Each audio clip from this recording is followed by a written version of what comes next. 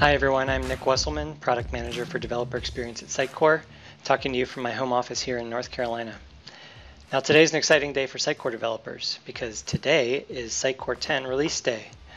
Sitecore 10 has some great new features for you and I'm here to tell you about them. First, I'm thrilled to say that we have released official Docker support and a Sitecore container registry with Sitecore 10.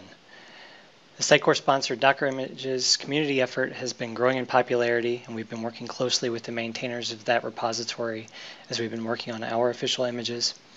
If you've been using the Docker Images project, some things will look a little different, but there's a lot that will look familiar. But most importantly, you don't need to build your own images anymore starting with Sitecore 10. We're also including support for both Docker Compose and Kubernetes orchestration, but you don't need to be deploying containers to production to use them in development. In fact, there's a lot of advantages to using containers with Sitecore development. First off, there's no need for a local install. You don't need to do a SIF install for every customer or Sitecore instance that you're working with. We're providing those base images that can be orchestrated with Docker Compose. If you find yourself working a lot with multiple Sitecore instances because you're at a partner working on multiple projects or otherwise have to maintain multiple Sitecore instances, you can now isolate those instances and their dependencies without the need for VMs. It also really simplifies the onboarding process for new developers. It can be as simple as cloning your code repository and doing a Docker Compose up to get a running Sitecore instance for your project. You also get uh, much easier environment consistency. No more works on my machine. You can even containerize your builds to have complete control over the build environment through your DevOps and CI pipeline. And finally, you really get environment stability. Because containers are immutable, if you break your local Sitecore instance, you can simply reset them and you're back to a healthy state. Besides the images themselves, I'm most excited about the documentation we're delivering. It covers many of the standard tasks or use cases that you as a Sitecore developer need to accommodate on containers and is supported by an open source examples repository on GitHub. So I believe we've really outlined here all the common things you'd need to do as a Sitecore developer and provide guidance for doing them with containers. Next up, we have a great new tool for your Sitecore utility belt the Sitecore CLI. This is a NuGet installed .NET command line tool that allows you to log in into and interact with a Sitecore instance. The login supports both interactive flows and client credential flows for automation and continuous deployment. We'll be adding a lot more functionality to the Sitecore CLI over time, uh, but its first major function is as an entry point into Sitecore content serialization, our new headless serialization option, which we think combines the best of TDS and Unicorn into a unified tool. It supports a modular uh, configuration format, obviously pushing and pulling serialized items from Sitecore instances, a watch mode to uh, look for any new changes in your Sitecore instance that need to be pulled, and a lot more. And don't worry if you're not a fan of the command line, as you'll see, we still have you covered. So again, we think this new tool combines the best of TDS and Unicorn, but we also wanted something that worked more easily with containers, integrated Sitecore's identity system, and was really built for automation. So you'll find that Sitecore content serialization was built from the start for your continuous integration and deployment pipelines.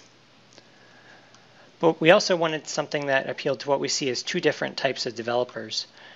Those who prefer the CLI and scripting, and those who prefer working in a GUI. And we wanted them to be able to work together on the same team. So in addition to the CLI, we're adding a new Sitecore Visual, for Visual Studio extension to the Sitecore Developer Collection, which will be available to all existing TDS customers. So whether you're a proponent of TDS or Unicorn today, we hope you'll become a fan of Sitecore content serialization and someone else will need to solve tabs versus spaces. Lastly, those of you who have worked with JSS are familiar with our headless development architecture and the services that support it, in particular the layout service. Today we have JavaScript SDKs for React, Angular, and Vue which allow you to consume those services and create independently running JavaScript rendering applications. With Sitecore 10, I'm delighted to announce a new headless rendering SDK, this time for ASP.NET Core, giving you the ability to finally develop Sitecore sites with .NET Core. So this is just a start on our ASP.NET Core journey. Not all platform features are supported out of the box with this initial release, but we plan to continue evolving and enhancing this SDK based on your input. But as of today, you get rapid local development outside your Sitecore delivery instance using ASP.NET Core. You can connect particular routes to Sitecore as needed in those ASP.NET Core applications. And you can build in this headless architecture like JSS while retaining full experience editor support, tracking, analytics, and personalization for the marketers.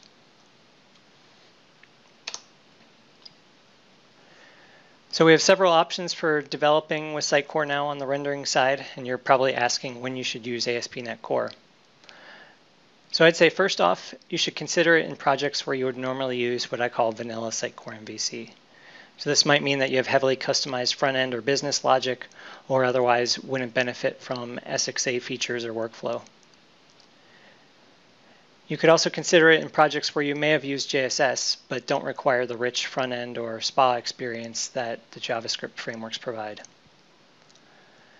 And it may also be useful for existing ASP.NET Core applications or sites where you want to sort of sprinkle in Sitecore or add Sitecore content to specific routes within that existing application.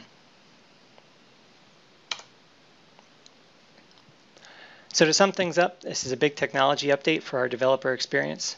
I hope you're all as excited as I am to work more with Docker, .NET Core, and our new CLI. And we know this means a big technology update for you as well. There's a lot to learn. But these are features that you can adopt incrementally. We haven't replaced anything in Sitecore 10 yet. You can still install with SIF, use TDS or Unicorn, and Sitecore MVC. But especially when used together, we see these new features as having huge benefits for Sitecore developers.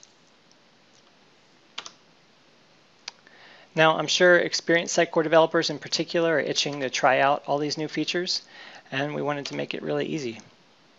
Details are in the Sitecore 10 documentation, but you can use our Getting Started .NET New template, installable through NuGet, to get a sample application that uses Sitecore containers, Sitecore content serialization, and the ASP.NET Core Rendering SDK. Please go try it today. Again, the details are in Sitecore 10 documentation. So thank you for your time and the opportunity to share these new Sitecore 10 developer features with you. And I hope you're in agreement with me now. It's a great day for Sitecore developers. Cheers.